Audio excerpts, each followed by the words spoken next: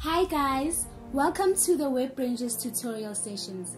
These tutorials are aimed at empowering you with information and skills to take up a leading role in the digital world. Today, we're focusing on the World Wide Web and how it works. Let's get started. The internet and the web are not the same thing.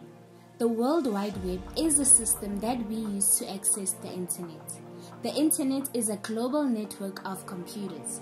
The World Wide Web is just one part of the internet and the most popular used. We typically access the web through browsers.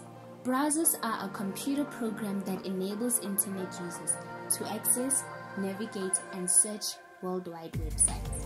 Chrome, Internet Explorer, Safari, Opera, Firefox are all examples of most popular web browsers.